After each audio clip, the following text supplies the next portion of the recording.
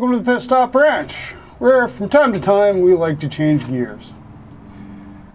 Today, we're going to be building a stand, a pedestal, to fit this B&M uh, shifter. Um, this will allow us to uh, shift to the transmission uh, and um, operate the vehicle as you would expect it to be. Now, obviously, um, its uh, location is real important for ergonomics, but also everything's got to clear and work underneath the um, trans tunnel that we uh, built up last time. So we're gonna be working on that. Um, there's uh, it's cable operated, so we're gonna have to bring the cable up in here and and, and do everything.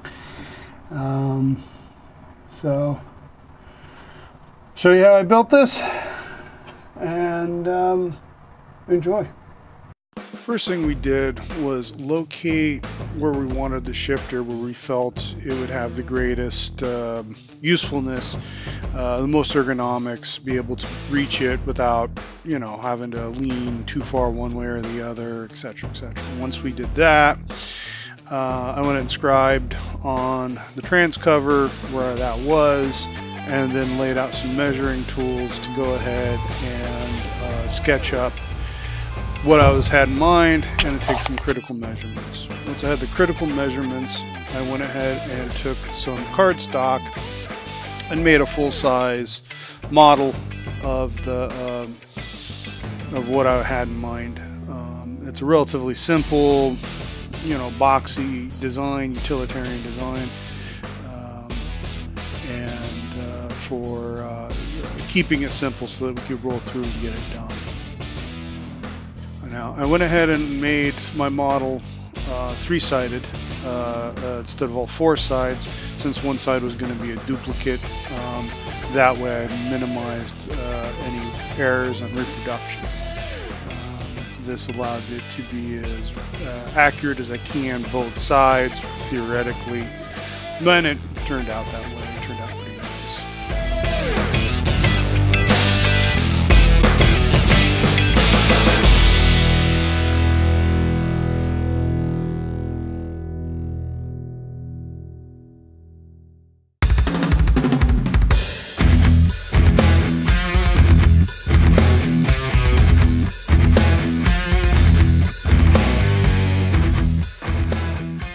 Once I was happy with the model, I went ahead and laid out the uh, pieces on a um, piece of 20 gauge steel. Uh, here you can see I spaced it up to get the tabs I wanted for the sides since I didn't include that in the original cardboard. And then I, you see me fold it over and do the opposite side, just a mirror image of, of the uh, the one long side that I already have. Of course, next is to cut it out. Um, and you know, used uh, the tin shears, uh, tin snips, uh, as you can see. It's a good forearm workout, and it is also one of the more precise ways uh, to uh, cut sheet steel like this. Um, I find this way using these, I, I usually waste a lot less, a lot. I I save a lot of steel and don't waste as much. Next, of course, then I improvised a uh, brake and went ahead and used a um, number of different tools to bend it over. As you can see, I used a, uh, a wood slapper so I didn't leave a lot of hammer marks and um, laid it over gradually. And once I, it was all folded up, all the corners up, then I went ahead and tacked it together and then went and checked it to make sure it's square and plumb and even. And I ended up doing a lot of uh, tuning on it using uh, hammers and so forth uh, that you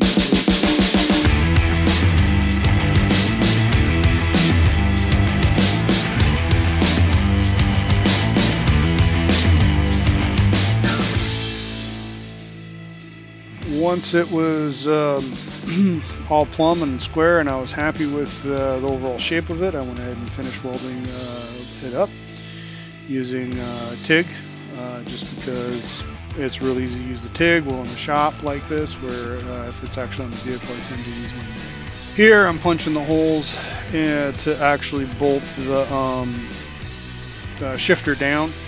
Um, now, what I'm what I'm doing here is I'm going to go ahead and put uh, riv inserts or riv nuts in inserts in to um, so that uh, they're captured and it's really easy to thread them in and out. And if you don't have one of these or you, you have never used one of these before, it's really nice on relatively low stress areas to uh, saves you from having to try to come up from the bottom with uh, nuts or trying to weld nuts on the backside.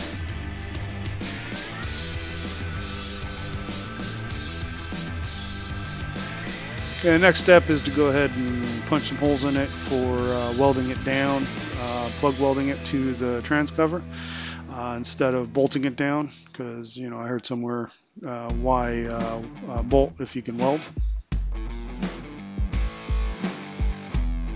Alright, now we need to get the cable to come off. I've, I've went ahead and cut it, edged out where I want to place that. Here's the shifter cable in all its glory. Next step is to figure out where I want the cable to come through the trans cover. Um, so I uh, checked uh, where it lines up on the shifter. It was nominally off center. Figured out approximately where uh, a good place to put the hole is, and then blew the hole into it. Now uh, I think I measured slightly under a half inch for the um, largest part of the cable that needed to pass through the hole, so I took it all the way out to a half inch. Here I'm using a half inch um, uh, drill bit shank to go ahead and then uh, twist the metal around the hole around so that it is in line with uh, the um, in line with the um, uh, shifter uh, attachment or the so the cable comes in a nice relatively straight. It doesn't have to make any sort of tight u-bend or, or 90 degree turn. Um, once I uh, did that then it needed a little cleanup so that it still sat flash flush.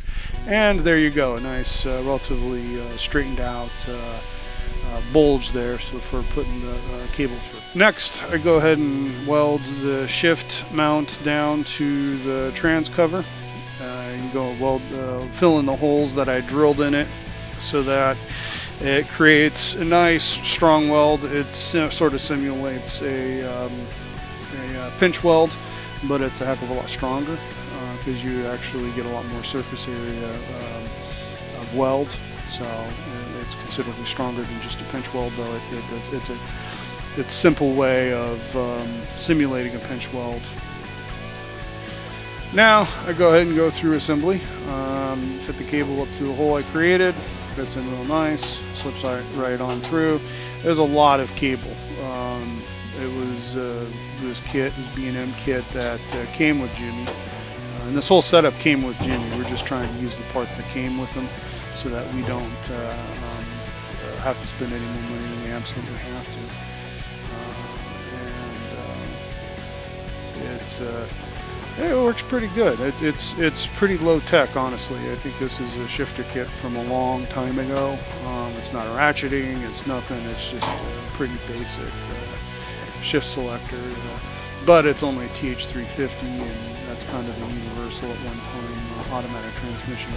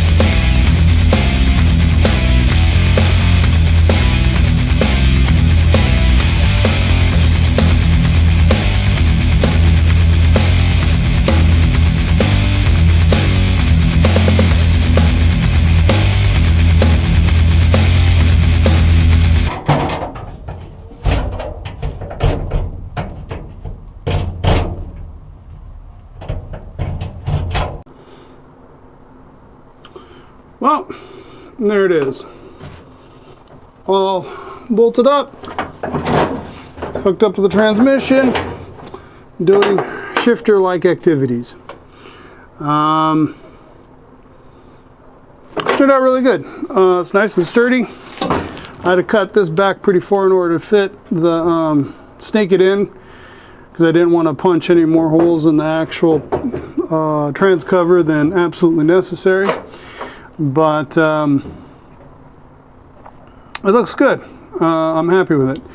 Uh, next step is, or one of the few one of the things we're going to be also be doing with this um, is we're going to go ahead and you put a carpet kit in here, and we're going to have to cut out around this and mold it around that and a few other things. That's going to be well after we paint it. But then I'm going to make a um, a uh, uh, vinyl boot to go all over this and hide it up so it just looks like one big long shifter. You know, should be a little nicer looking than um, this is. Um, it's rather utilitarian with which the way I built this. Um, so it um, doesn't have a lot of uh, flasher style. Um, if I had a, um, well, if I thought of it, I could have done something a little flashier, but I went with the simple possible, simplest possible solution so that I can get it done. Um, next time, make it fancier. Uh, so, anyway, hope you enjoyed following along as uh, we did the simple uh, uh handcraft in our spare time. Um, uh, remember, we are professionals, but not at this. So, go ahead and uh, leave a comment below about how you would have done it a little differently or quite a bit better. And we appreciate uh, um, your input. And as always, please like, subscribe if you haven't done so already. Please share with your friends all the neat and crazy stuff we do and uh, hit the notification bell so you get uh, notified uh, when our next video gets released. And until then, have a rustastic day.